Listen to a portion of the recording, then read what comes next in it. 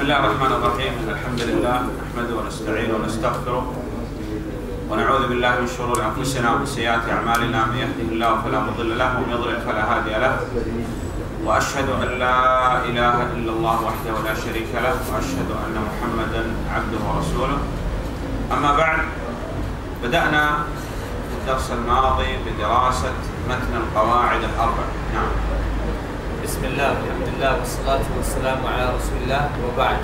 So we began in the last lesson with our, uh, the last period of the lesson of Al-Qawaid al-Arba'a, the treaties, the four principles.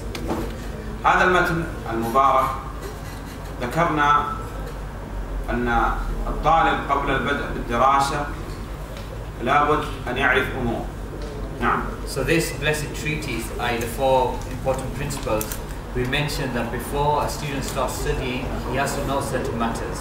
الأول لماذا ندرس التوحيد First of all, you need to know why are we studying Tawheed? Why do you study Tawheed? ندرس التوحيد لأنه حق الله على العبيد We study Tawheed because Tawheed is the right of Allah upon His slaves. خلقنا من أجله Because we were created for Tawheed. لا يقبل الله سبحانه وتعالى أي عمل إلا به Because Allah subhanahu wa ta'ala does not accept any action except if it's based upon Tawheed. لا يدخل الجنة إلا موحد A person cannot enter into Jannah, into paradise, except that he is from amongst the people of Tawheed. استقرار الأمن And that Tawheed it brings about security and safety. الهداية It brings about guidance. الطمأنينة It brings about tranquility and calmness. حلاوة الإيمان And it's a reason for a person tasting the sweetness of Iman. سبب لشفاعة النبي صلى الله عليه وسلم Tawheed is also a reason or a cause for the intercession of the Prophet sallallahu alayhi wasallam. ونحن بحاجة للتوحيد أكثر من حاجتنا إلى الطعام والشراب And that we are in need of a Tawheed more than our need for eating and drinking. وغير هذا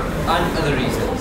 الثاني Secondly, لماذا اخترنا دراسة هذا المتن أي متن القواعد الأربع why have we chosen to study this text, this treatise, the treatise of the four important principles? لأننا طلاب Because we were students, students of knowledge. والطالب لابد أن يرجع في طلب العلم إلى العلماء الربانيين And a student of knowledge, when he's seeking knowledge, he has to go back to the ulama rabbani, the senior scholars who have knowledge and they act upon their knowledge. وليس لنا أن نبتدع طريقة جديدة في طلبنا للعلم And it's not for us to bring about a new innovative way in terms of seeking knowledge. لابد أن نسير على النهج والطريقة الذي خطوا لنا العلماء حتى نصل إلى ما وصل إليه بإذن الله تعالى But instead we have to traverse upon the path that the scholars have set out. So by doing this we can reach how, where they have reached. آه، سبب تأليف هذا المتن المبارك So the third matter that you should know is what is the reason behind which the author authored this book or treatise. ذكرنا في الدرس الماضي أن سبب التأليف أن المؤلف رحمه الله تعالى أراد بهذه القواعد الأربع أن يكون للطالب حجة يستطيع بها أن يرد على الشبهة التي يأتي بها أهل الشرك في زمانه We mentioned in the previous lesson that the reason behind which the author, rahimahullah, he authored this treatise, Al-Qawaid al-Arba, is that the student or the person who studies this text, he can have with him evidences by which he can refute or repel the doubts of the people of shirk in our time. وهذا الكتاب أي متن القاعدة الأربع هو كالخلاصة لكتاب كشف الشبهات. And this book or this treatise Al-Qawaid al-Arba that we are studying, it's almost as if it's a summary of the other book Kashf al-Shubhat. وكذلك ذكرنا أنه لو قال قائل لماذا لا ندرس كتاب كشف الشبهات أولا الكتاب الأصلي ثم بعد هذا ندرس المختصر لهذا الكتاب تقريبا على ما ذكرنا أي متن القواعد الأربع So if a person comes to you and says, why don't you study the main book first, Kashf al-Shubhat? Because you said that this book is almost like a summary for that book. So why don't you study Kashf al-Shubhat first, and then after you've studied Kashf al-Shubhat, then you can take the summary, which is Qaid al-Arba. We say to him, ذكرنا هذه المسألة فيما تقدم. we've already mentioned this issue previously, أن الطالب ليس له أن يقدم أو يؤخر يعني في دراسة الكتب أو سماع الأشرطة أو حضور الدروس بالرجوع إلى يعني ما لديه من علم أو إلى الطلاب. لا بد أن يرجع للعلماء الربانيين. So we said previously that it's not up to the student start deciding what goes first or what comes later on, which lessons he should attend or what sets he should listen to. Rather, you have to go back to what the scholars have said, either path that the scholars have set out. وذكرنا أيضا And we also mentioned أن العلماء رحمهم الله تعالى that the scholars, may Allah have mercy upon them, يقولوا أن أول ما يبدأ الطالب بالدراسة يبدأ بكتاب بالتوحيد the scholars have previously mentioned that the first thing that the student of knowledge should begin with in his knowledge is firstly a tawheed. وأول ما يبدأ في التوحيد بمتن الأصول الثلاثة And the first book or treatise that a person should study when he's studying a tawheed is al-usul al-thalatha, the, the three important principles. ثم القواعد الأربع And then after this, al-qawaid al-arba. ثم كتاب التوحيد And then kitab al-tawheed. ثم كتاب كشف الشبهات And then after this, عندنا افتيس كشف الشبهات بل أن من العلماء من يرى رحمهم الله تحريم القراءة في كتاب كشف الشبهات قبل دراسة كتاب التوحيد. Rather from amongst the scholars, may Allah mercy upon them, some of them say that it's impermissible, haram, for a person to look into the book كشف الشبهات without studying these previous books like كتاب التوحيد. آه، كما أن العلماء ومنهم الشيخ بن عثيمين رحمه الله تعالى يرى تحريم القراءة في الكتب التي ذكرت ما شجر بين الصحابة أي المؤلفة من أهل السنة والجماعة حتى لا يقع في قلب الإنسان شيء عن أصحاب النبي صلى الله عليه وسلم And also we mentioned that some of the scholars, and amongst them Sheikh ibn Uthaymeen rahimahullah, they, they said that it's impermissible for a student to look into the books which make a mention of the differences between the Sahaba, even though these books were authored by Ahl Sunnah. Why? So something doesn't enter into your heart against one of, one- uh, some of the companions. ولأن الطعن في الصحابة رضي الله عليهم طعن في الله وفي دين الله وفي رسول الله عليه الصلاة والسلام وطعن في الصحابة. And because somebody who insults one of the companions, in reality is insulting Allah subhanahu wa ta'ala, His religion, His messenger, and the Sahaba. ثم أنا هذا الأمر. أي ما شجر بين الصحابة ومن الفئة الباغية وغير هذا. هذا لا تسأل عنه يوم القيامة لكن يسأل تسأل عن ما تعتقد في قول الله تعالى والذين جاءوا من بعدهم يقولون ربنا اغفر لنا ولإخواننا الذين سبقونا بالإيمان ولا تجعل في قلوبنا غلا للذين آمنوا ربنا إنك رؤوف رحيم وتسأل عما تعتقد في قول النبي صلى الله عليه وسلم لا تسب أصحابه نعم. And then we mentioned that with regards to the differences between the companions and the fighting that took place then, uh, took uh, place between them, you in your graves you're not going to be asked about this, but you're going to be asked regarding the statement of Allah Subhanahu wa Taala that uh, those people who come, those people they say, Oh Allah, do not make in our heart any type of hatred for those people who have come uh, before us in Iman, and also forgive our sins and forgive their sins. You'll be also asked about your belief regarding the statement of the Prophet sallallahu alaihi wasallam. Do not insult my companions. This is what you'll be asked about. آه، كذلك آه، ذكرنا أنه قبل الدراسة عندما تقتري كتاب أو يهدى إليك كتاب ماذا تصنع في هذا الكتاب؟ تقرأ أقل ما يكون في هذا الكتاب مقدمة الكتاب والفهرس And also we mentioned that whenever you buy a book, what's the least, the minimum amount you should you should read from it. When you buy it, just before you buy it, the minimum that you should read from it is the contents page and the index page and the introduction of the author.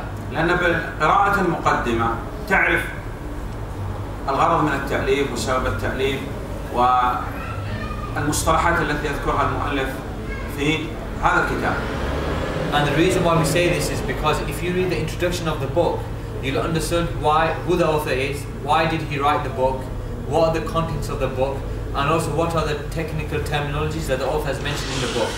وبقراءة الفهرس تعرف محتوى الكتاب And by reading the index of the book, then you'll be you'll know what is inside the book, the contents of the book. حتى تعرف المسائل التي ذكرها المؤلف رحمه الله تعالى وقد تبحث عن مسألة وهي موجودة عندك وأنت لا تدري عنها So, let's say if you're searching for a particular issue, if you read the index, then you know that that issue is contained in the book. If you're searching for the issue and you've never read even the content of the book, you won't know that it's in there, even though the book is with you. آه، عندما ننظر في هذا المتن المبارك وما يحتويه نرى والله أعلم أن هذا المتن يحتوي على ثلاثة أقسام. So when we look at this text or this treatise Al-Qawaid Al-Arba, we can see that this text we can index it or we can divide into three sections along those base. المقدمة وفي هذه المقدمة عنوان السعادة. So number one, an introduction to the whole text, and this introduction includes or it contains the keys to happiness. المسمى الثاني أو ما يكون في هذا المتن المبارك لماذا ندرس التوحيد And then the second section of this book is why do we study at-tawheed? القسم الثالث القواعد الأربع And then the third section is a s- uh, mention of the four actual principles. ذكر في القسم الأول المقدمة وهذه المقدمة فيها عنوان السعادة So again, the first section is the introduction and a mention of the keys to happiness. في القسم الثاني ذكر لماذا ندرس التوحيد وذكرنا أن المؤلف رحمه الله تعالى يركز دائما على هذا الأمر ذكر لماذا ندرس التوحيد في الفصول الثلاثة وهنا في القواعد الأربع وكذلك في كتاب التوحيد وفي كشف الشبهات وفي غالب كتب المؤلف رحمه الله تعالى يذكر هذه المسألة And then secondly, the second section is why we should study at-tawheed. And we mentioned previously that the author, rahimahullah, he attaches importance to this issue. In almost every single book that he's authored, he'll make a mention of why we should study tawheed. So in Usul al-Thalatha, Qawaid al-Arba, Kitab al-Tawheed, Kashf al-Shubhat, and almost all of his books, he always mentions why we should study at-tawheed. ثم بعد هذا في القسم الثالث وهو الأخير ذكر القواعد الأربع And then in the last section, the third section of this book, he mentioned the four actual principles. هذه أمور لابد الاعتناء بها قبل البدء بالدراسة So these matters that we've just mentioned, you have to pay attention to them and attach importance to them before studying the book. لماذا ندرس التوحيد؟ Why we study Tawheed? لماذا ندرس هذا المتن المبارك؟ Why do we study this blessed treatise, القواعد الأربع the four principles? آه، لماذا لا نبدأ بكتاب كشف الشبهات قبل القواعد الأربع؟ Why don't we start with the book Kashf al-Shubhat before we begin with Qaid al-Arba? سبب التأليف Why the author authored this book?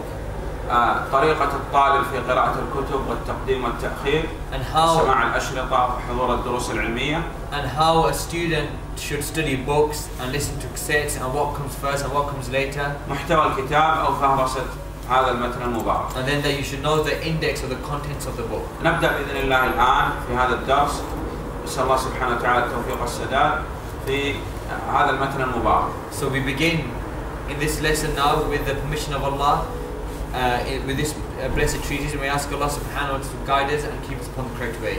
فالقسم الأول So the first section of the book المقدمة وهذه المقدمة في عنوان السعادة is an introduction to the book Al-Qa'id al-Arba'a and it contains the keys to happiness. بدأ المؤلف رحمه الله تعالى هذا المتن المبارك بالبسمة بسم الله الرحمن الرحيم So the author, may Allah mercy upon him, he began this book by mentioning the Basmala. Bismillah ar-Rahman ar-Rahim. يبدأ العلماء رحمهم الله تعالى المؤلفات بالبسملة So the scholars, they always begin their texts or their books by mentioning Bismillah. فما هو سبب البدء بالبسملة لماذا يبدأ العلماء رحمهم الله تعالى بالبسملة So what's the reason behind the scholars always beginning their books by Bismillah? والله أعلم أن السبب لبدء العلماء بالبسملة أمور خمسة وهي By the permission of Allah, or Allah knows best, the reason for which the scholars always begin with Bismillah, five reasons. الأمر الأول أن العلماء رحمه الله تعالى أرادوا أن يقتدوا بالكتاب العزيز Firstly, that the scholars, they wanted to imitate the way of the book Al-Quran. لأن القرآن مبدوء بسم الله الرحمن الرحيم Because the Quran, it starts off with Bismillah ar-Rahman ar-Rahim. الأمر الثاني Secondly, أن هذا فيه اتباع لما كان عليه النبي عليه الصلاة والسلام لأن النبي صلى الله عليه وسلم كان يبدأ في مراسلاته بسم الله الرحمن الرحيم Secondly, by the scholars beginning their works with Bismillah ar-Rahman ar-Rahim, is obedience or is in, conform, is in conformity to the guidance of the Prophet sallallahu alaihi wasallam. Because the Prophet sallallahu alaihi wasallam, whenever he wrote his letters, he would always begin with Bismillah ar-Rahman ar-Rahim. آه، كذلك اقتداء بعلماء السلف And also uh, maintaining or being in guidance with or in conformity to the way of the scholars of the Salaf. رحمهم الله May Allah have mercy upon them. آه، كذلك تيمنا وتبركا للبداء بسم الله لأن كل شيء يذكر عليه اسم الله تحل فيه تحل فيه البركة والخير And also, by starting with Bismillah, they hope and they seek for the blessing of Allah. Because everything which is began with the Bismillah in the name of Allah, then the blessings of Allah are placed in this thing. الأمر الخامس والأخير والله أعلم. استئناسا بحديث وإن كان بعض العلماء يضعف هذا الحديث لكن بعض العلماء يستأنس به كل أمر ذي بال يبدأ فيه بسم الله. نعم. استئناسا. يعني يستأنس العلماء بهذا الحديث مع أن البعض يضعف والبعض يعني قد يصحح هذا الحديث. فهذا الأمر هو يعني الأمر الأخير والله أعلم. Nah. And then the fifth and final reason behind which the author and generally the scholars begin with Bismillah ar when they write anything, and Allah knows best, is in using the hadith of the Prophet ﷺ who said that every important matter that is not begun with the name of Allah, then it is maqtur, meaning the blessings are deficient or there's no blessings in it. And the Shaykh uh, Hafidullah he mentioned that even though some of the scholars they have mentioned that this hadith is weak, some of the other scholars have mentioned that it's authentic. So some of them use it, and Allah knows best.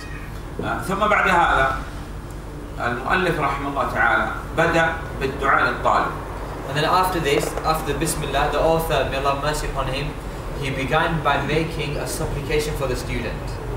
آه، في العادة أن الطالب هو الذي يدعو للشيخ وللمؤلف So normally, it's the student who should be making a supplication for the sheikh or for the author for the teacher. لكن في هذا المتن وفي كتب الشيخ محمد بن عبد الوهاب رحمه الله تعالى كان مر معنا في متن الأصول الثلاثة. المؤلف رحمه الله تعالى هو الذي يدعو للطالب دعا للطالب في الأصول الثلاثة في ثلاثة مواضع ودعا هنا في القواعد الأربع في موضع للطالب. وهذا فيه أن المؤلف رحمه الله تعالى يرغب أن كل خير يلحق بهذا الطالب والقارئ نعم وهذا من يعني شفقة المؤلف So normally, like the Sheikh mentioned, normally it's the student who should be making dua and supplicating for the teacher and for the author.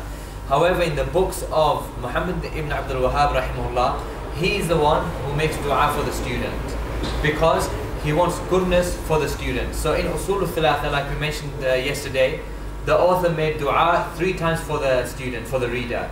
And in this book, he supplicates for the student twice or the reader twice.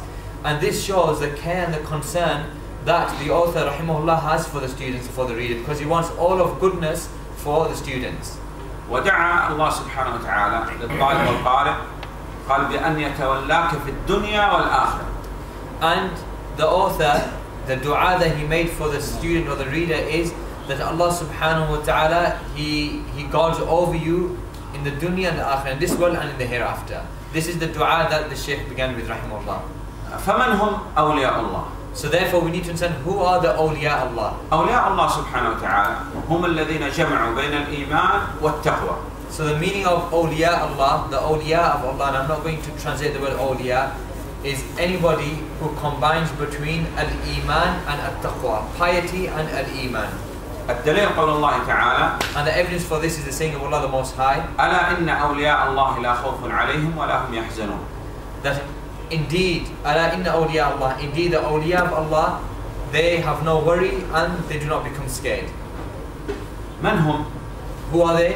في تكملة الآية الذين آمنوا وكانوا يتقون أي جمعوا بين الإيمان والتقوى So who are they? The answer is in the completion of, of the ayah. Allah said, الَّذِينَ آمَنُوا Those people who believe وَكَانُوا يَتَّقُونَ And they have a taqwa or piety. So the awliya of Allah, they combine between two things. Al-Iman and al-Taqwa.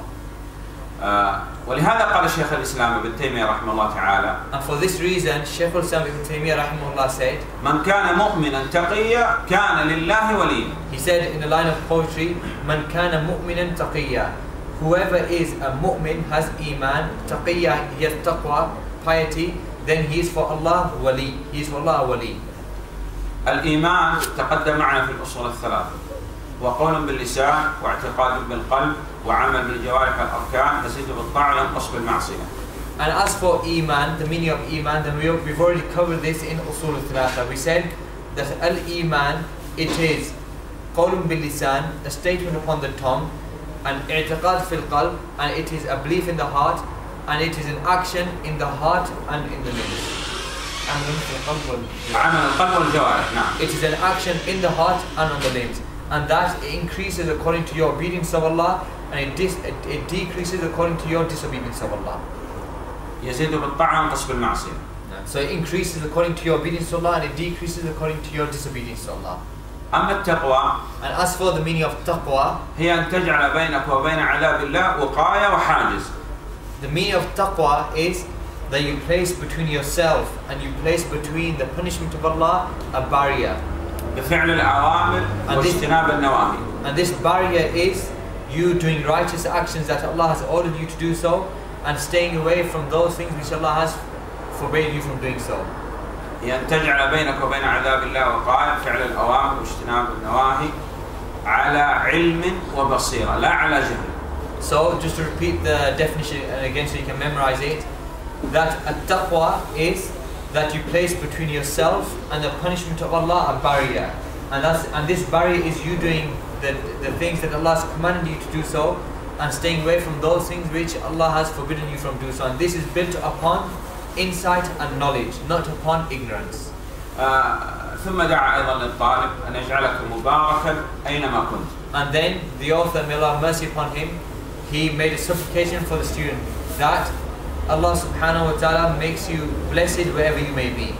آه ثم بعد هذا ذكر عنوان السعادة فعنوان السعادة أمور ثلاثة And then after this, the author, rahimahullah, he mentioned the keys to happiness. And the keys to happiness that he mentioned are three. آه الأول إذا أعطي شكر The first, that when you are given something, then you are grateful, or you, you, sh- you show thanks to Allah. يعني عند النعم شاكر Meaning that when you are blessed with something, then you are shakir, you are somebody who is gracious. وضد هذا أنه يكفر النعمة And the opposite to this is somebody who rejects the ni'mah, the blessing. وإذا ابتلي صبر And then the second key is that when you are tested or tried or afflicted with a calamity, that you're patient. وضد هذا إذا ابتلي نسأل الله السلامة والعافية تسخر And the opposite of this is that when somebody is afflicted with a calamity or tested in a particular way, and we ask Allah's safety and pardoning, that you become despondent or lose hope or you become angry. والثالث إذا أذنب استغفر And then the third key, uh, the third key to happiness is that once a person, as Allah commits a sin, he seeks forgiveness. وضد هذا نسأل الله السلامة والعافية إذا أذنب قنط من رحمة الله ولم يستغفر And the opposite to this is that when a person sins, and we ask Allah's safety and pardoning, that a person loses hope in the mercy of Allah, so he doesn't seek forgiveness. إذا هذه الأمور الثلاثة هي عنوان السعادة So therefore, these three matters are the keys to happiness. آه، لأننا لو بحثنا في أحوال الناس نجد أن الناس لا يمكن أن يخرج يخرجوا عن هذه الأمور الثلاثة سراء شاكر ضراء صابر عند المعصية مستقبل and and why do we say that these are the three keys to happiness? Because if we look at the people, if we look at the situation of the people, we'll always find them in one of these three situations. Either somebody is happy and they, therefore he's thankful and shows and he's gracious to Allah, or he is sad or he has been afflicted and therefore he's patient, or he is committing a sin and therefore he is seeking forgiveness. آه، أيضا Also, آه، لابد أن نعرف في الأمر الأول من عنوان السعادة إذا أعطي شكر لابد أن نعرف أن النعمة ابتلاء And also another thing that we have to understand is that the first key of ha- the first key of happiness that if somebody is given something, if somebody is blessed with something, then he, he is gracious to Allah. We have to understand that sometimes a blessing is also a test. كل نعمة أنعم الله سبحانه وتعالى بها عليك فهي ابتلاء من الله Every single blessing which Allah has blessed you with, then it is also a test upon you. ما هو الدليل على أن النعمة ابتلاء What is the evidence that every single blessing is a test? أدلة كثيرة Many evidences. منها From amongst them, ونبلوكم بالشر والخير فتنة that Allah said in the Quran that we will test you with something which is good, with something which is evil, and also something which is good, fitna, as a test. آه، فلما رآه مستقرا عنده قال هذا من فضل ربي ليبلوني أأشكر أم أكفر And also the saying of Allah subhanahu wa ta'ala that when he found either blessing settled with him, then he said that this is from the virtue of my Lord to know whether I should show thanks and gracious, uh, uh, be gracious or whether I should reject it and disbelieve in it. وغيرها So it was a fitna, a test, and other evidences. نعم فماذا تصنع So therefore, what should you do? علمت أن ال- النعمة ابتلاء ماذا تصنع So now you know that a blessing it can be a test upon you. So therefore, what should you do? تصنع والله أعلم أنه قبل أن تأتي النعمة وبعد أن تأتي النعمة تصنع شيء قبل أن تأتي النعمة وبعد أن تأتي النعمة تصنع شيء نعم So what you should do, and Allah knows best, is before the blessing comes to you, you have to do a particular thing, and after bless, the blessing comes to you, you have to do a particular, a particular thing. قبل أن تأتي النعمة لابد من تعلم بالله لا بغيره وبعد أن تأتي النعمة لابد من شكر So before the blessing comes to you, then you have to be attached to Allah subhanahu wa ta'ala. Your relationship has to be with Allah. And after the blessing comes to you, then you have to show graciousness or thankfulness to Allah. قبل أن تأتي النعمة تتعلق بالله لا بغيره So before the blessing comes to you, then you are attached to Allah only. Your, your only relationship is with Allah, nobody else. وبعد أن تأتي النعمة تشكر الله سبحانه وتعالى بالقلب وباللسان وبالجوارح And after the blessing comes to you, then you have to show thanks to Allah. And you show thanks to Allah in your heart, upon your tongue, and in your limbs, or on your limbs. قبل أن تأتي النعمة تتعلق بالله لا بغيره نعم So, once again to repeat, before the blessing comes to you, then you attach yourself and you have a relationship with Allah, nobody else. كيف How? الجنة تطلب من من Paradise, it is sought from whom? من الله From Allah. لماذا Why? لأنه لا أحد يقدر على إعطاء الجنة إلا الله Because nobody has ability to give you Jannah except Allah. طيب الرزق يطلب من من Okay, now risk, provisions, sustenance. Who is it supplicated? Who is it sought from? يطلب من الله It is sought from Allah. إن الله هو الرزاق Like Allah said in the Quran, indeed Allah He is Ar-Razaq, the one who gives uh, sustenance or provisions. ونضرب لكم مثال على هذا التعلق قبل أن تأتي النعمة بالله لا بغيره And we're going to give you an example regarding this. How should, somebody should be attached to Allah before the blessing comes. يمشي بعض الناس في الطريق So some people they walk in the streets ثم ينظر في متاع الدنيا and then they look at the beautification of the world. ينظر إلى القصور والعمائر والسيارات وما أنعم الله سبحانه وتعالى به على العباد من زوجات وأولاد وغير هذا أو, أو أموال So people walk in the streets and they look at all the beautification of this world. They look at, they see the castles, the lofty buildings, the cars, and what Allah has blessed upon His slaves, like wives and, and children, and also wealth. فيفكر هذا في ماذا وهو يمشي وينظر في متاع الدنيا So this person who is walking along the street and he's looking at the beautification of the world, what does he think in his mind?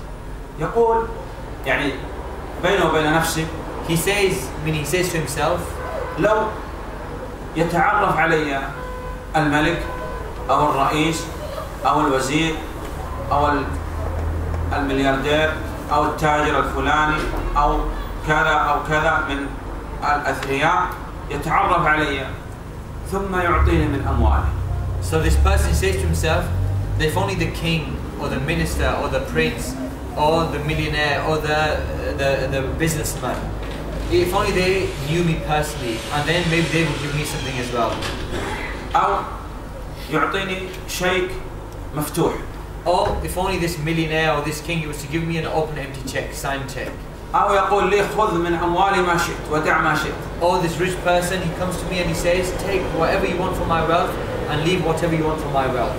اغلب الناس على هذا الا من رحم الله Most, صحيح most of the people, they have this type of thinking, except the one whom Allah has mercy upon, correct? نعم كما ذكرنا لكم الجنة لا تطلب إلا من الله كذلك الرزق لا يطلب إلا من الله But just as we have mentioned, if paradise is not sought except from Allah, then simply provisions and sustenance cannot be sought except from Allah. فهذا الآن هنا تعلق قبل أن تأتي النعمة بغير الله So now this person, before the blessing has come to him, he's attached himself to other than Allah. والله سبحانه وتعالى يقول وتوكل على الحي الذي لا يموت And Allah subhanahu wa ta'ala says, وَتَوَكَّلْ عَلَى الْحَيِّ That have your reliance and, and be attached to the one who is Al Hayy, who is ever living and he will never die. لأن هؤلاء يموتوا والله سبحانه وتعالى هو الحي الذي لا يموت والله سبحانه وتعالى هو الرزاق وهؤلاء ليس لهم شيء Because those people, being the kings and the rich people and the businessmen, they will all die, they will all pass away. And Allah is the one who is ever living and He will never pass away. Allah is the one who provides Al Razzaq, gives sustenance in such large amounts. And those people, they don't have anything.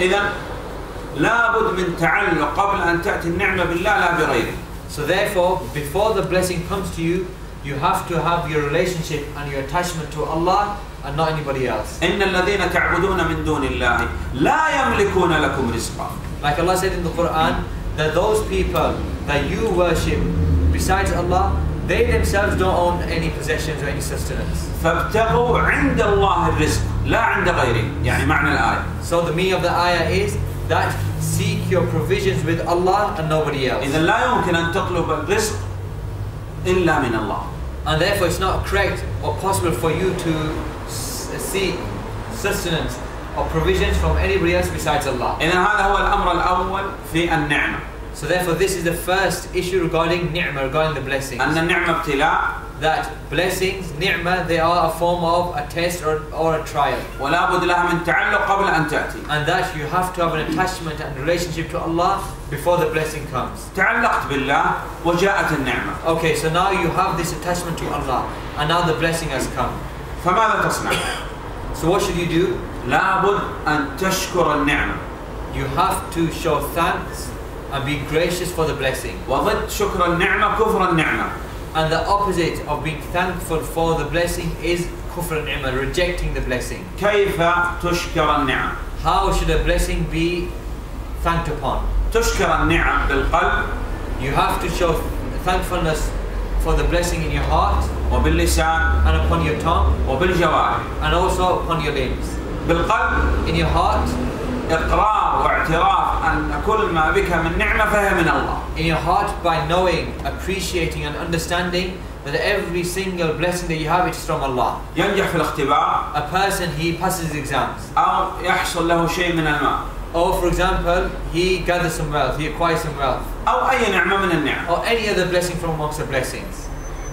فماذا يعتقد بقلبه What does a person, what should a person be believing in his heart? أن هذه النعم من الله That this blessing is from Allah. لأن بعض الناس هدانا الله إياه Because some people may like guide them and guide us. يقول هذا بجدي They say that this, what they've acquired is because of us trying and striving. واجتهادي This is because of my work and my working hard. وأنا محقوق به أنا أحق الناس بهذا And I am deserving of this. I am the most deserving person of this blessing. أو على علم من الله أني له أهل نقول أنا أهل لأن أكون غني Or, ولذلك أعطاني الله المال ما يشكر النعم or person would say that Allah knows that I am the one who is deserving of this wealth. So he doesn't show thankfulness to Allah for this wealth.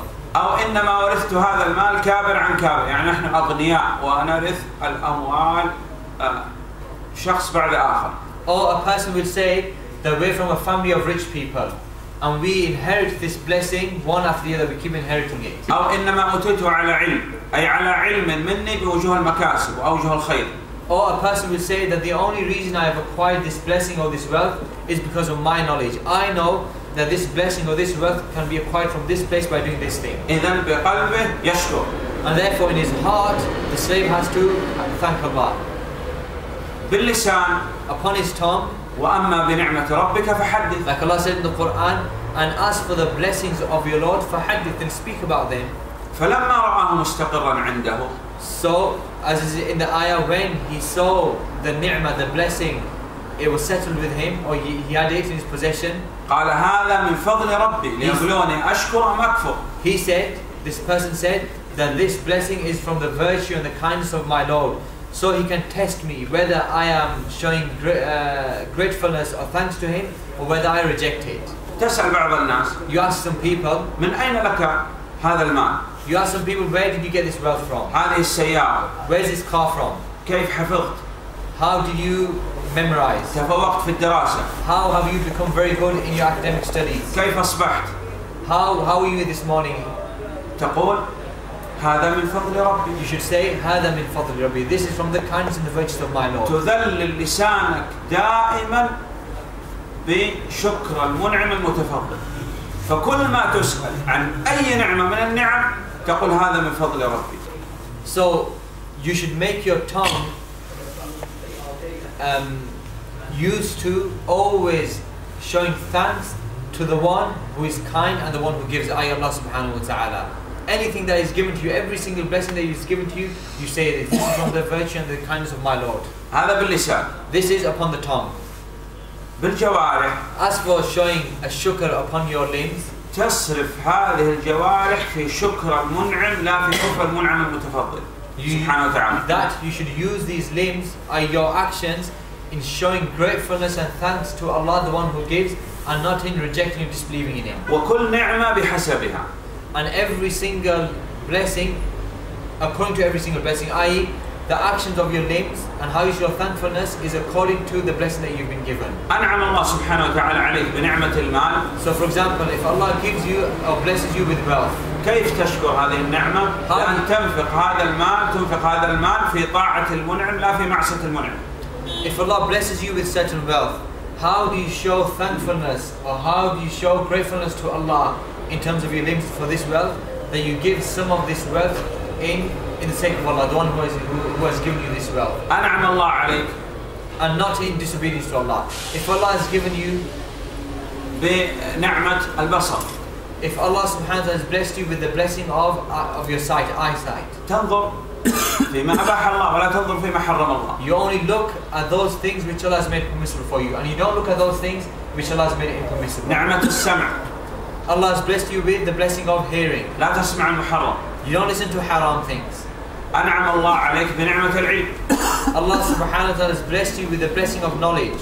تشكر هذه النعمة You show thank, thankfulness or thanks of the, upon this blessing بأن تعلم الناس. by teaching the people.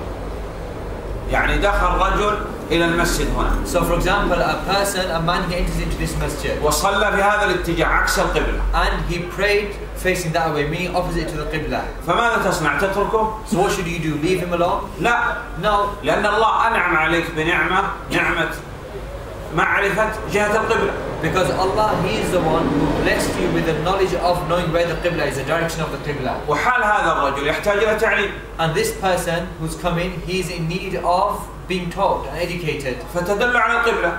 So therefore you guide him towards the Qibla, the direction of the Qibla. أو دخل إلى المسجد وقال أين القبلة؟ Or a person comes and he says where is the Qibla? ماذا تقول له؟ تقول الله أعلم أنا لا أفتي.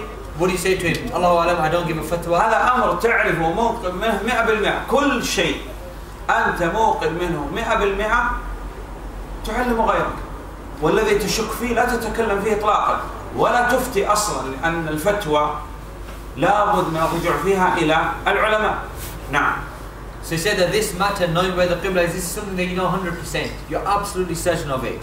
So you don't say to him, Allahu Alam, I I don't give a fatwa here. Rather, every single thing that you have certainty in, every piece of knowledge that you are certain about, then you teach. As for those things that you have some doubt about, then you don't talk about them at all. You don't talk about them. نعم لو دخلت مرأة If a woman enters وسألت مثلا عن مسألة في الطلاق and she asks you regarding an issue regarding relating to a talaq, ماذا divorce, تصنع لها؟ what are you going to say to her or do to her? تقول لها لابد من الرجوع للعلماء أو هذا هو رقم الإفتاء ترجع إليه You have to say to her that look, you have to go back to the scholars, or this is the number for uh, through which you can acquire fatwa about divorce. آه ابن الجوزي عفى الله عنا وعنه Ibn al-Jawzi, may Allah pardon him and us, ذكر قصة he mentioned a story. أهل السنة والجماعة The people of Sunnati wal Jama'ah, يذكرون القصص من باب الاستئناس لا من باب الاحتجاج so the people of Sunnah, they sometimes mention stories not in trying to seek evidences from them or using them as an evidence, but just to sport. This story itself is sporting of an evidence. لأن الحجة في الكتاب والسنة Because the evidence is in the Quran and the Sunnah. ولا بأس بذكر بعض القصص أحيانا من باب الاستئناس لا من باب الاحتجاج And there's nothing wrong with mentioning a story every now and again, but not in order to seek or drive the evidences from the story, but that the story sports an evidence. ذكر ابن الجوزي عفى الله عنه وعنه So Ibn Jawzi, may Allah pardon him and us, he said أن الكلب جاء إلى الأسد that a dog came to a lion فقال يا ملك السباع يعني هو أي الأسد هو ملك الغابة أو رئيس الغابة So then the dog said to the lion, O king of the predators, because as you know, the lion is the king of the jungle, the king of the predators. فقال يا ملك السباع So the dog said to the lion, O king of the predators, إن اسمي هذا خسيس أي اسم الكلب اسم خسيس وحقير يعني لا يصلح لي أريد أن تغير اسمي So he came to the lion and he said to the lion, Look, my name, I a dog, this name is something which is lowly, this name is something which is humiliating. So I want you to change my name from dog to something else. فلا بد أن تغير اسمي من كلب إلى أي شيء آخر So you have to change my name from a dog to something else, another name.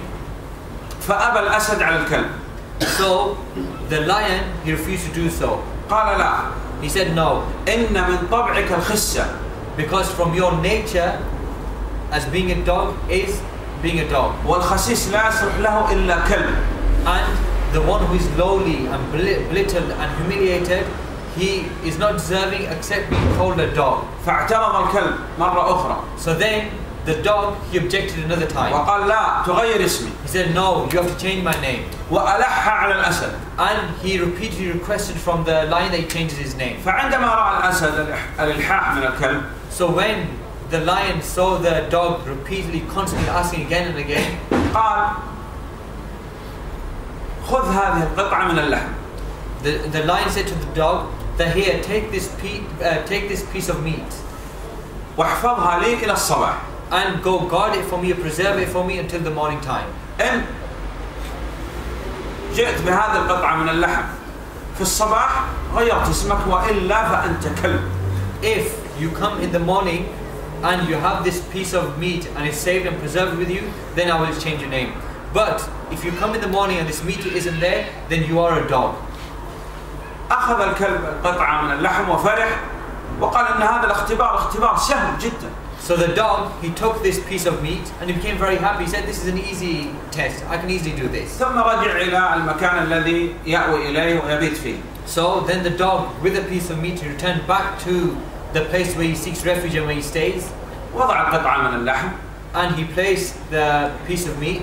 وأخذ يفكر طيلة الليل And then he started thinking, he began thinking pondering all throughout the night. كلب Dog, أسد lion, آكل eat, لا آكل don't eat, جوع hunger, برد cold, خوف fear, آكل لا آكل eat, آكل لا آكل eat, shall not eat. حتى قرب الفجر Up until the dawn came. وهو متردد هل يأكل أو لا يأكل And he's still thinking, shall I eat or shall I not eat? هل يبقى كلب أو يغير Is he going to change my name to do- from dog or is it, am I going to always be a dog? فعندما قرب الفجر So when the dawn came, واشتد الجوع when the sunrise came and he became very, very hungry, قال الكلب يعني لنفسه the dog said to himself, إن اسم الكلب اسم حسن he said, the name of the dog is a nice name.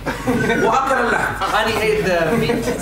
الشاهد من هذه القصة The point behind this story أن الذي يصبر عن المحرمات that the person who is patient over those things which are haram, فهذا رضي بالعزة then this person has is pleased with being honorable. ورضي أن يكون أسد And the person who is patient on those things which are impermissible, then this person is happy in being a lion. والذي لا يصبر عن المحرمات And the one who isn't patient upon staying away from disobedience, نسأل الله السلامة and والعافية we ask Allah for safety and pardoning, هذا رضي بالخسة and this this person has become happy or pleased with being humiliated. ولا يصلح له إلا كلب And it's not befitting for him except that he's a dog called a وأنت dog. اختبر نفسك الآن And you can test yourself. عندما تخرج من المسجد When you leave the masjid, تمر مرأة مثلا a woman passes by you, for example, شاكرة and she is, you know, in her dormant and a beauty.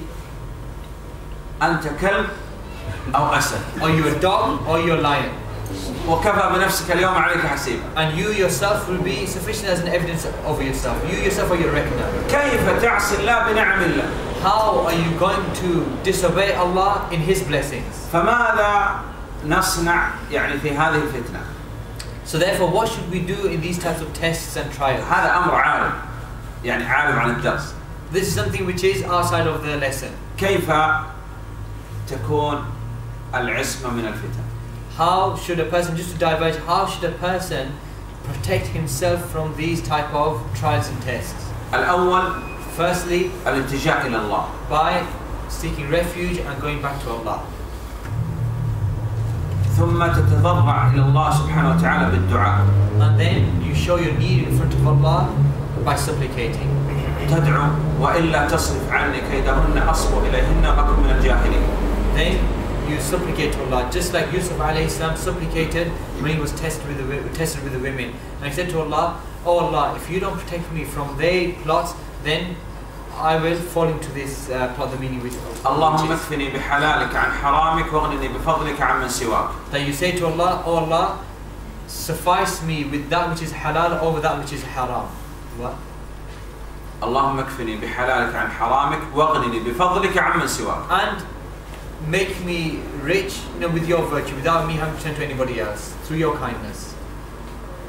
الصحبة الصالحة And also having good righteous friends, righteous, righteous companions. لأن الصحبة الصالحة بإذن الله تعين على ترك المنكرات Because having righteous friends it will help you in leaving alone those things which are forbidden. ترك الصحبة السيئة And leaving alone bad friends or bad company.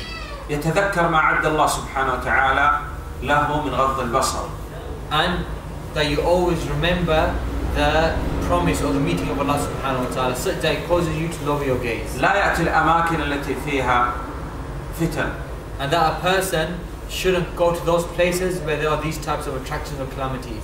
زيارة القبور الزيارة الشرعية And also visiting the, visiting the graves but according to the correct Islamic guideline. لماذا؟ Why? لأن زيارة القبور تذكر الآخرة Because as the Prophet ﷺ said, visiting the graves, it reminds you of the hereafter. يقرأ A person should read, في قصة يوسف عليه الصلاة والسلام a person can read the story of Yusuf alayhi salam, the Prophet.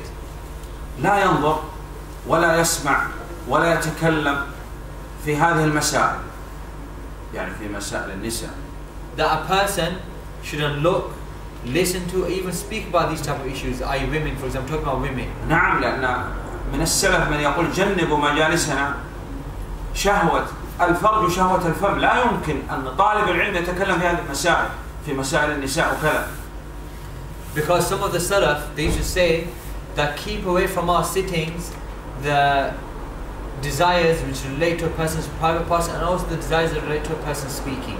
So it's not possible for a person to speak about these things, about women and these type of things. آه هذه الوسائل التي تكون يعني فيها شر كقنوات الانترنت وكذا And also these avenues or these channels that contain these type of desires and these forbidden matters like the internet and the channels, لا يدخل فيها مطلقا a person should never enter into them إلا عند الضرورة except due to a necessity. يدخل لكن يدخل في أماكن فيها أناس يعني يطلع يعني يجعل الشاشة مثلا أو الكمبيوتر في وسط المنزل that a person, if you're going to enter into the internet out of necessity, then you only do so in a room where there's other people there. لا يبقى That you don't do it on your own. Do it when there's people there. There's, everybody, people can see the screen and what's on the screen.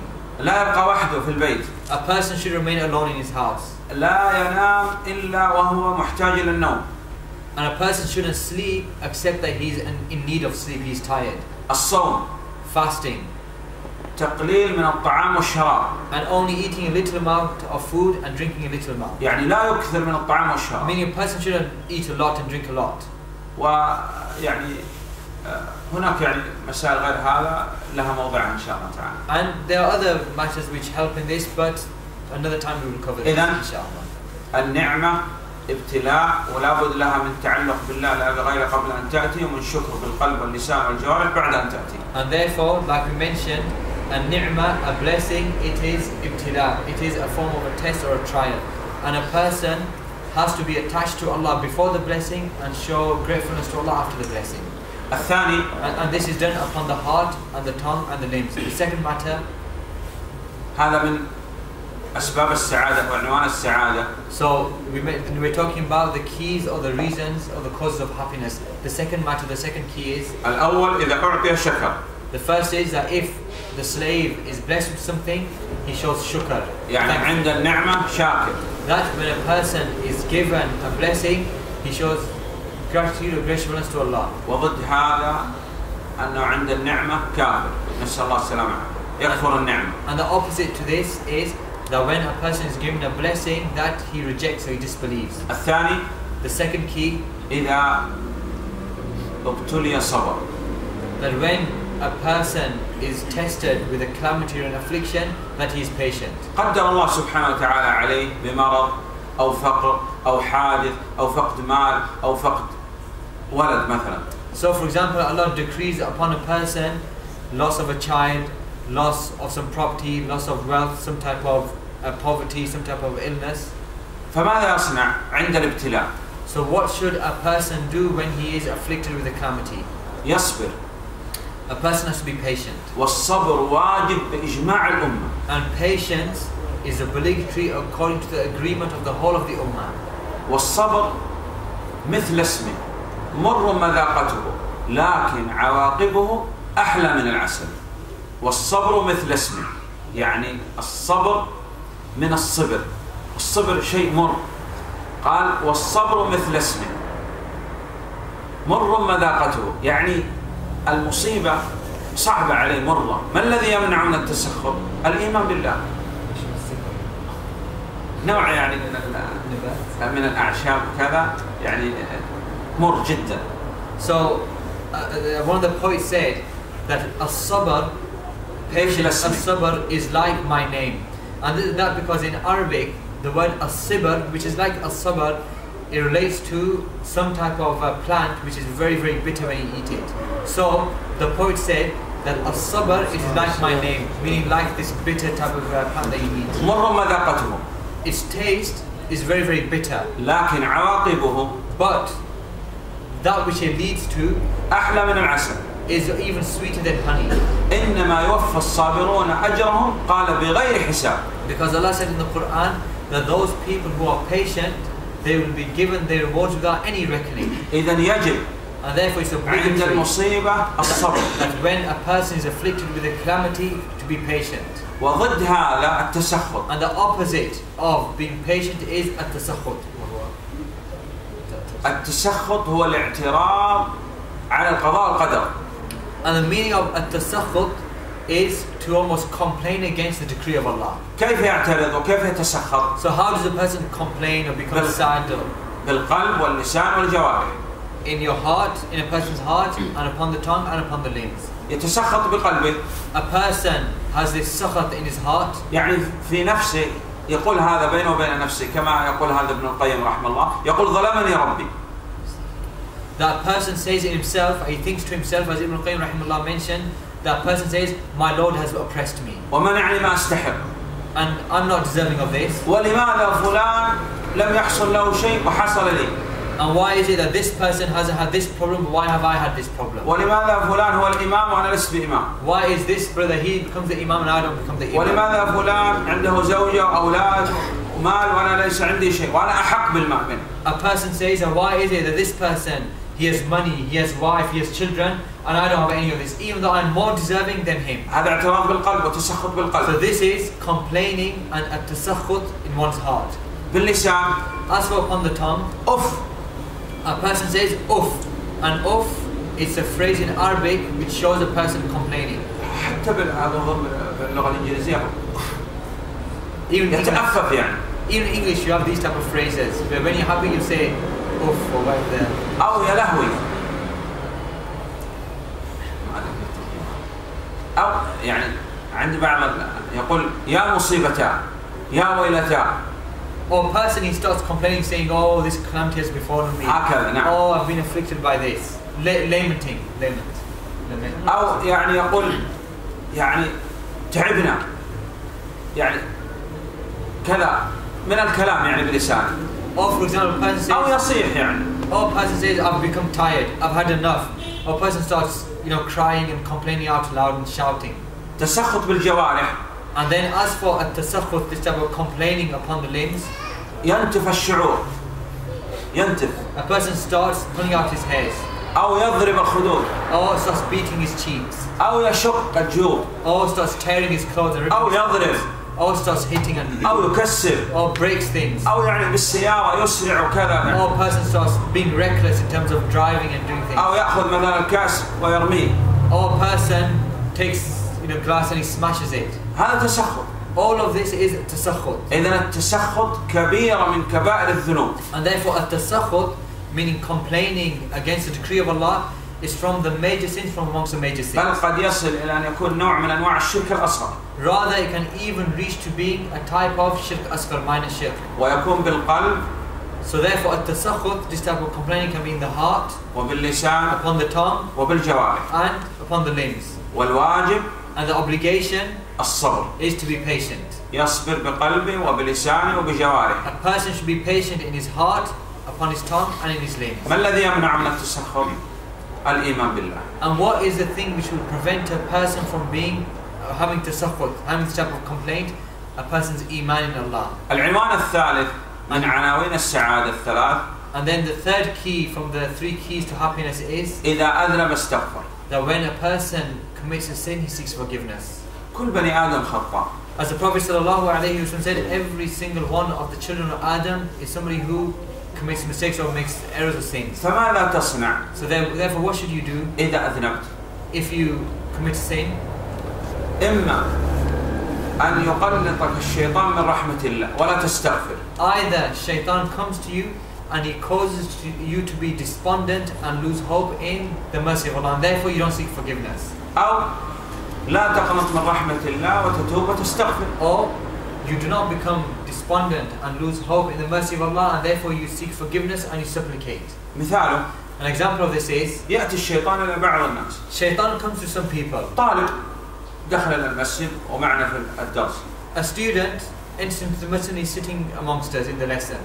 يوسوس له الشيطان في الدرس And shaitan becomes to, uh, begins to whisper to him inside the lesson. يقول أنت الآن تتظاهر بالصلاة والتقوى وطلب العلم تتظاهر يعني رياء Oh, uh, so shaitan comes to him and he says to him, Look, it's as if now you're showing off the fact that you've come to the masjid, you're praying, you have taqwa.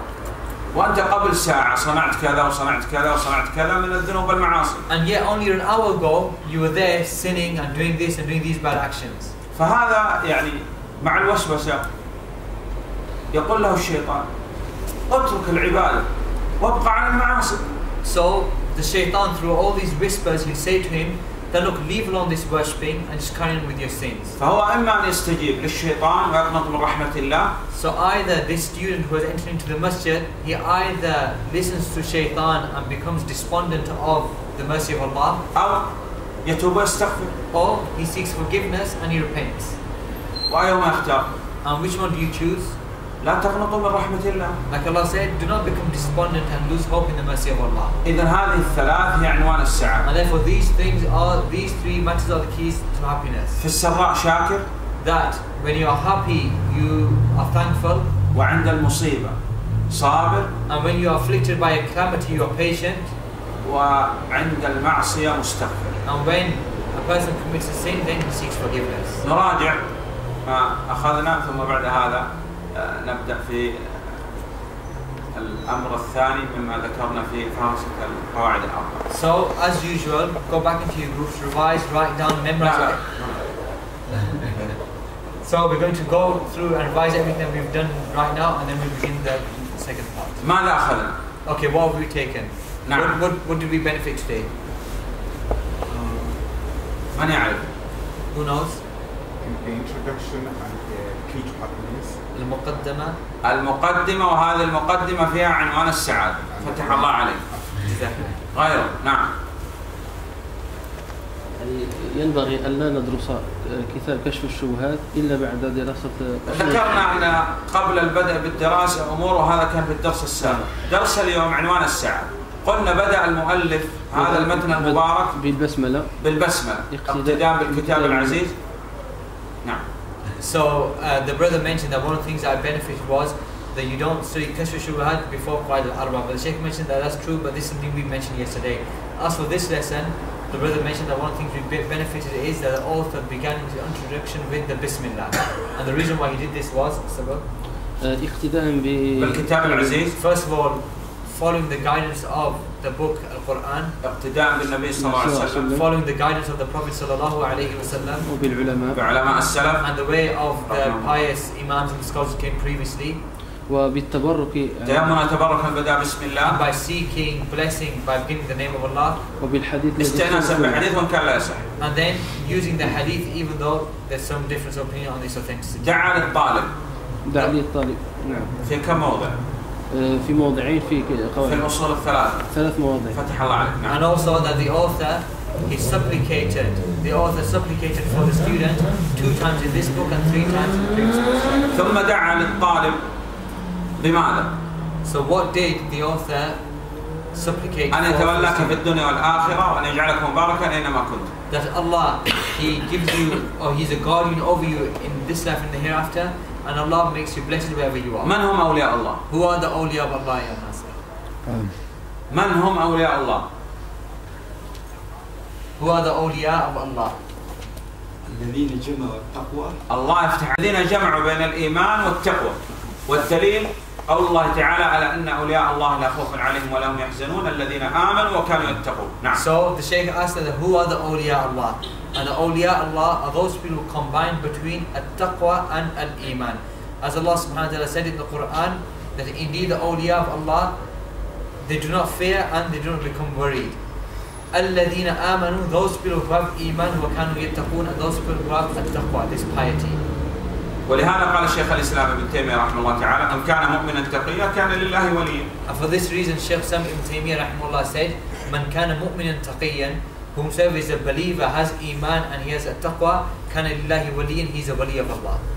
ينام بين القبور A person, he sleeps between the graves, يشرب الخمور drinks alcohol, لا ياتي بالطاعات he doesn't do any form of goodness or obedience, وياتي بالمنكرات and he والمحرمات does all of the evil things and the forbidden matters, ولا يتطهر من بوله وكذا and a person doesn't purify himself from urine and other things, هذا ولي ولا شك في ولايته this is a wali, this is a wali, and there's no doubt that this person is a wali, a guardian. نعم Yes, he's a wali, من اولياء الشيطان but from the awliya of shaitan. ولا بد ان نفرق بين اولياء الرحمن واولياء الشيطان And we have to differentiate between the awliya of the most merciful Ar-Rahman and the awliya of Shaitan. ولهذا الف شيخ الاسلام رحمه الله تعالى كتابا سماه And because of this, Shaykh al-Islam Ibn Taymiyyah, may Allah have mercy upon him, الفرقان he authored a book which he named Al-Furqan, the distinguishing factor يعني يفرق بين اولياء الرحمن واولياء الشيطان which distinguishes between the awliya of Allah, the most merciful, and the awliya of Shaitan. Al-Furqan, بين awliya al-Rahman and awliya Shaitan. نعم وغير هذا What else did we benefit? عنوان السعاده The three keys to happiness. نعم Um, the Sheikh mentioned that we shouldn't buy a book without knowing the contents page, the introduction, and the end. يشتري الكتاب او يقتني كتاب او يهدى اليه كتاب ينظر في المقدمه وفي الفارس فتح الله عليك A person buys a book or is given a book, a gifted a book, acquires a book, as a brother mentioned, may Allah bless him, that you don't put this book down before you've read the contents and the index من and the يذكر, introduction. من يذكر لنا عنوان السعاده Who will mention the keys to ثلاث happiness? اشياء The three keys to happiness, three matters. نعم Uh, the first, uh, the first one is uh, to show um, thankfulness. Shukr. Uh, to Allah. عند النعمه شاكر And the second one is um, to have sabr To be patient. uh, with the trial. عند المصيبه عند الابتلاء. الابتلاء صابر And, and the third one is uh, And the third one is عند المعصيه when a person Astaghfir. when a person commits a sin, uh, you seek forgiveness. seek forgiveness, istighfar. طيب هل النعمه ابتلاء نعم ام لا مع الدليل Is a blessing, can it be, or is it an affliction and a trial or a test and the evidence? من يعرف What's the evidence for this? Who knows? نعم. النعمة ابتلاء. النعمة ابتلاء. والدليل؟ قوله سبحانه وتعالى هناك أدلة كثيرة. نعم أدلة منها. ومنها ونبلوكم بالشر والخير. خير فتح الله عنك نعم. النعمة ابتلاء. نعم يقول والدليل نبلوكم بالشر والخير فتنة. And the, the brother mentioned that yes, a blessing can be a fitna, it can be a trial. And the evidence is the saying of Allah. He said there's many evidences from amongst the saying is that Allah said we will test you, well, we will test you with evil and also with goodness. With something bad and with something good as a fitna, as a test or a trial. ما الواجب تجاه النعم؟ So what is the obligation upon you when you are given a ni'mah, blessing? قلنا لابد من أمرين We said two matters. نعم لابد من أمرين Two matters that we have to have. نعم to be worshipful before the blessing comes. الله يفتح عليك قبل أن تأتي النعمة نعم Say again, to be. To what to be um, لابد من تعلق قبل أن تأتي النعمة So before the blessing comes, you attach yourself to Allah. You have a relation with Allah, you worship Allah. وبعد أن تأتي And النعمة after the blessing comes, show gratitude um, يشكر كيف يشكر؟ بالقلب وباللسان وبالجوارح how do you show gratitude? Upon your heart, your limbs and, and your tongue. tongue, and limbs. فتح الله عليك طيب وضد شكر النعمة كفر النعمة يكفر بقلبه وبلسانه وبجوارحه And the opposite, showing gratitude for the blessing, is uh, disbelieving or rejecting the blessing. And this is in your heart, upon your tongue, and upon your limbs. وأخذنا طريقة أهل السنة والجماعة في ذكر القصص أنهم لا يكثروا منها وتذكر للاستئناس لا للاحتجاج And we also mentioned the methodology of Ahlul Sunnati wal Jama'ah when it comes to mentioning stories. And that is that every now and again we can mention a story, but not as a source of evidence in itself, to deduce evidence from it, but just as a sport, a sports another evidence. ما الواجب عند المصيبة؟ What is the obligation when you are tested with something, when you are afflicted by something, a calamity? نعم الصبر الصبر Being patient. فهو واجب بإجماع الأمة So patience is an obligation according to the ijma' of the ummah. وضد الصبر And the, the opposite of as-sabr is ضد الصبر التسخط الاعتراض على قضاء القدر at-tasakhut meaning complaining and being grateful for the decree of Allah. كيف يتسخط؟ How does a person have tasakhut? بالقلب واللسان والجوارح In the نعم. heart and the tongue and upon the limbs. ثم الثالث And then thirdly, عند المعصية when a person sins, مستغفر a person should be seeking forgiveness. ثم أن المؤلف رحمه الله تعالى ذكر القسم الثاني على ما قسمنا And then the author he mentioned, or he went to the second section of the book as we have uh, split it. وهو لماذا ندرس التوحيد And that is why should we study al-Tawheed? وركز المؤلف رحمه الله تعالى على هذا الأمر And the author he always attaches importance to this issue. لأن هناك من يحارب الدعوة للتوحيد Because there exist some people who wage a war against the da'wah of Tawheed. ولا يريد أن نعلم التوحيد أو نتعلم التوحيد And they don't want from us to teach Tawheed and neither should we learn Tawheed. وإذا ذكر الله وحده اشمأزت قلوب الذين لا يؤمنون بالآخرة Like Allah said in the Quran, that when Allah is mentioned alone, made at Tawheed, then their hearts feel they, bec- they become restricted or they feel you know restricted and un- they become sad and unhappy. وإذا ذكر الذين من دونه إذا هم يستبشرون And yet, when other than Allah is mentioned, then they become happy. Then they give the glad tidings and the good news. لابد أن تفرح بدرس التوحيد So you have to become happy with regards to the lessons of Tawheed. حياة القلوب It is the life of the hearts تعلق بالله that you attach yourself to Allah. You have this relationship with Allah, حتى لا تقع في الشرك so that you don't fall into shirk. لأن الشيطان Because as shaitan, يضع شباك كما يضع الصياد الشبكة لصيد الأسماك مثلا so the shaitan he puts out uh, he puts out traps, just as the fisherman who is or the hunter he puts out a trap for the thing which is hunting or fish. وحذرنا الله سبحانه وتعالى من الشرك And Allah subhanahu wa ta'ala he warned us from a shirk.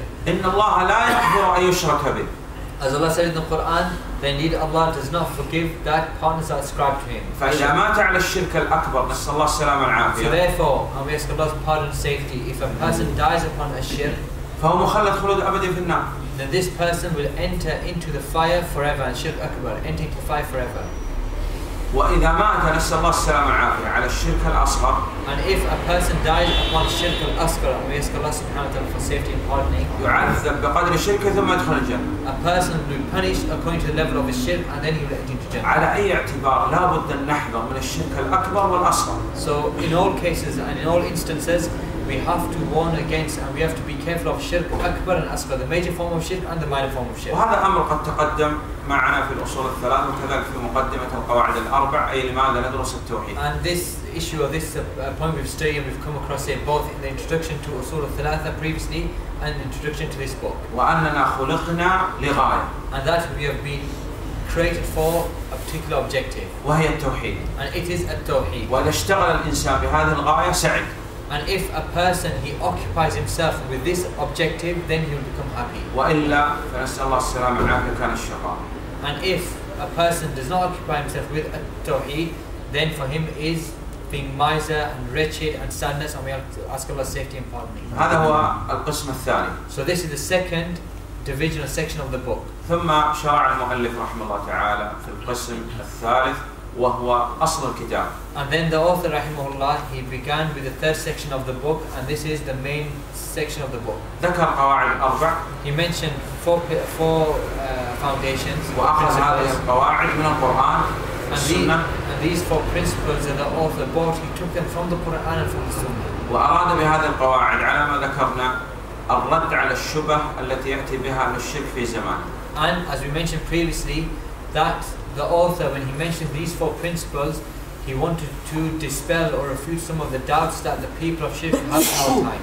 القاعدة الأولى So the first principle is, أو الشبهة الأولى نذكر القاعدة مع الشبه حتى تفهم oh, the first doubt is, so we're going to mention the doubt along with the principle so that you can understand. لو قال لك المشرك أو المبطل أو الذي يعني يناقشك في ما هو واقع فيه من الشرك نسأل الله السلامة والعافية So if a mushrik comes to you and he argues with you, or if a person who's debating you and he wants to debate you against the things that he is doing, that is shirk.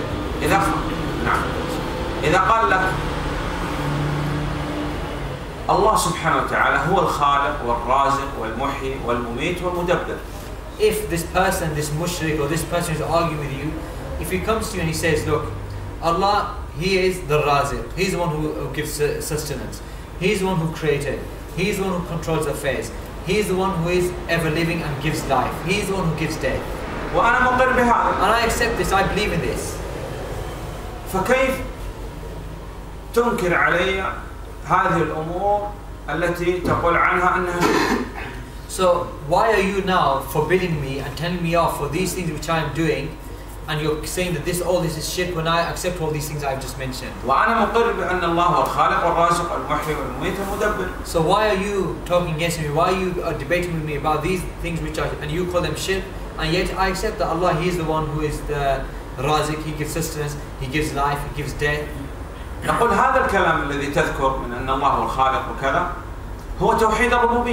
We say that these matters which you are mentioning, i.e. Allah is Al-Razik, the one who gives sus- sustenance, He gives life, He gives death, He controls everything.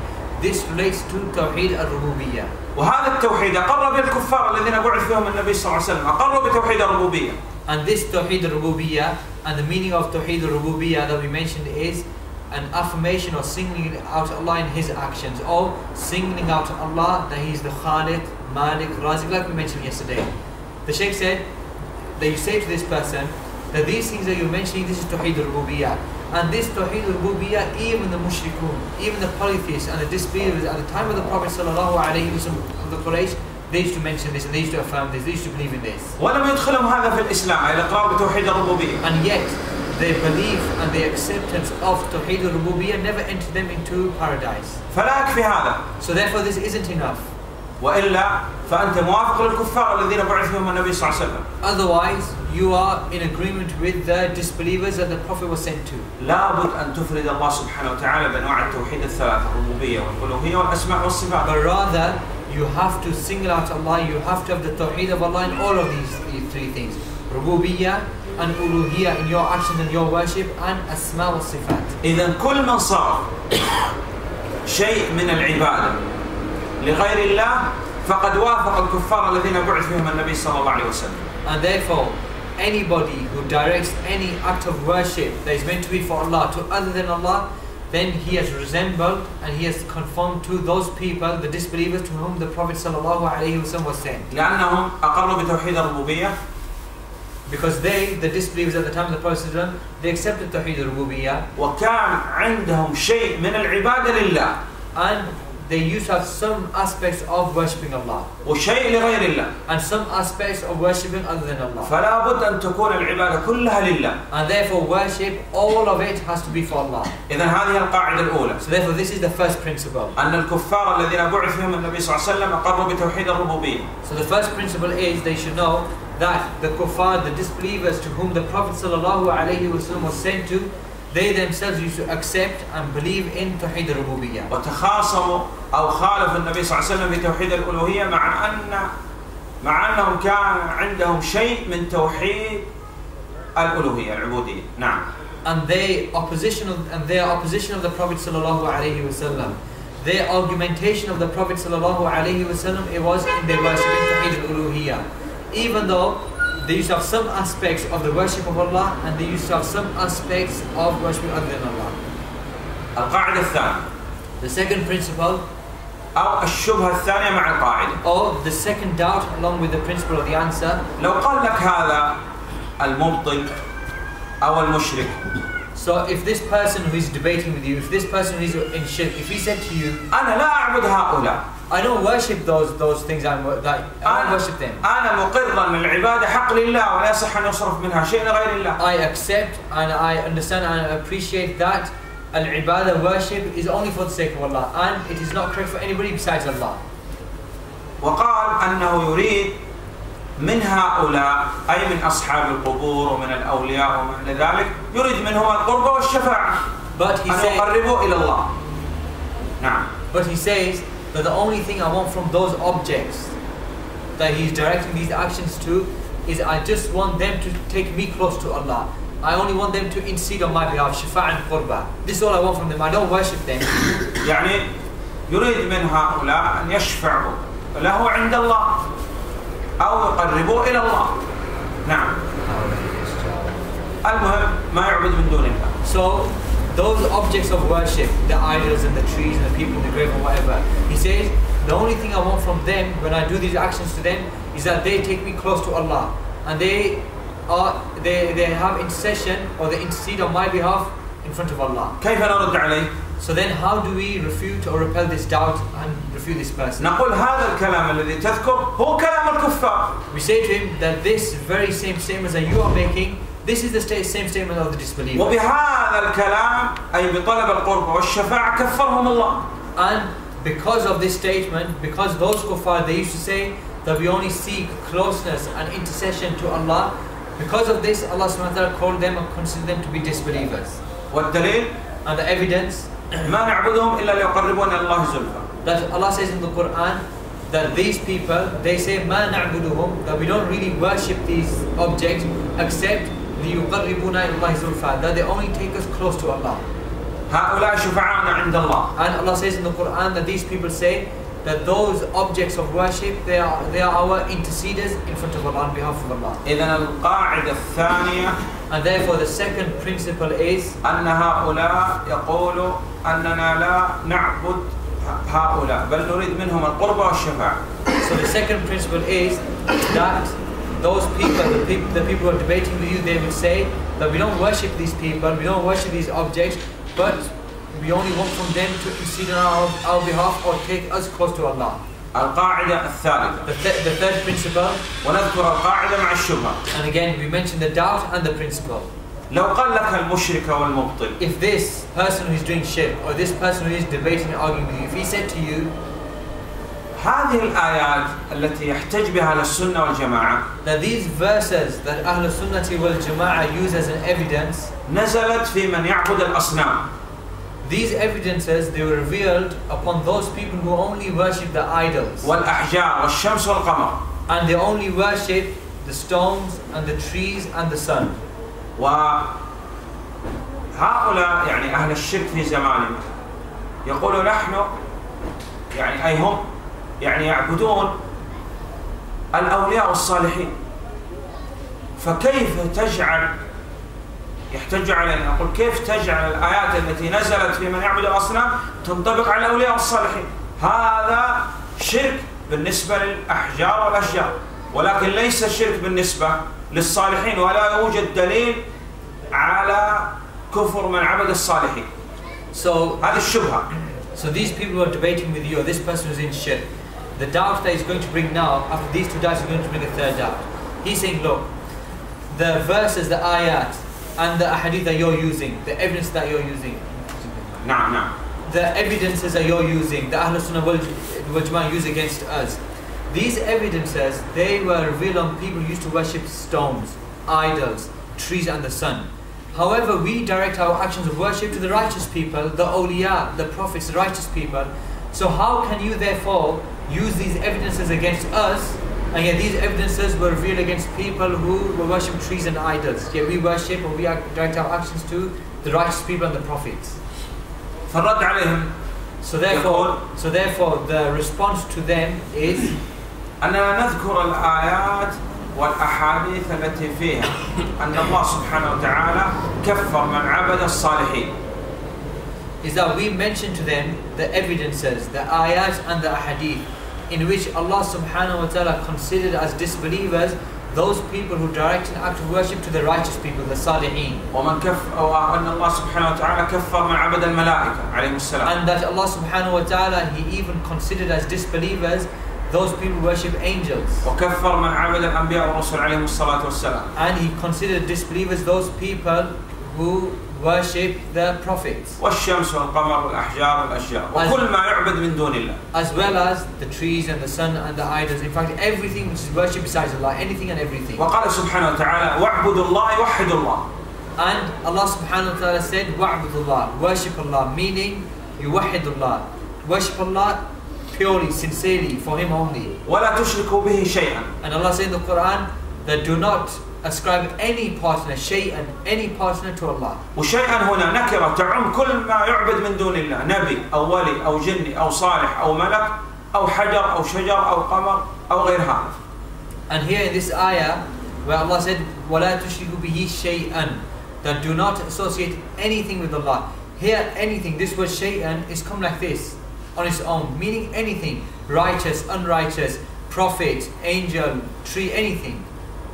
آه، ثم أن المؤلف رحمه الله تعالى أتى بالقاعدة الرابعة And then the author, may Allah mercy upon him, he came with the fourth principle. أننا نخوف هؤلاء نخوف هؤلاء ونحذرهم Is that we frighten those people and we warn them. ونقول لهم And we say to them الكفار الذين بعث فيهم النبي صلى الله عليه وسلم that the disbelievers to which the Prophet ﷺ was sent to, أخلصوا في الضراء وأشركوا في السراء they would make their supplications and their worship sincere to Allah in times of need. However, in times of blessing and ease, then they would start committing shirk. وكفرهم الله And yet, despite this, Allah subhanahu wa ta'ala considered them as disbelievers. وأهل الشرك في زماننا نسأل الله السلامة والعافية As for the people of shirk in our time, we ask for safety and pardon. شركهم دائم في السراء والضراء Then their shirk is always, every time, in times of difficulty and times of ease. فنقول لهم اتقوا الله So we should say to them, ittaqullah, fear Allah. وأقلعوا على الشرك and leave alone this shirk, leave it alone, abandon it. لأن هذا الشرك الذي يعني عند أهل الشرك في زماننا أشد من الشرك الذي كان زمن النبي صلى الله عليه وسلم فهم كفار من باب أولى So, and we say to him, fear Allah and leave alone this shirk because the shirk which is the, with the people of shirk in our times is more severe than the shirk that was with the people at the time of the Prophet ﷺ. And therefore, the shirk or the people who are doing shirk in this time are more disbelievers than them. It's more severe in their disbelief. نسأل الله سبحانه وتعالى السلامة والعافية We ask Allah subhanahu wa ta'ala to save us Ameen. and pardon us. وفق الله الجميع لما يحب ويرضى الله أعلم وصلى الله على نبينا محمد وآله وصحبه وسلم And may Allah guide everybody to that which Allah is pleased with and He loves. وصلى الله على نبينا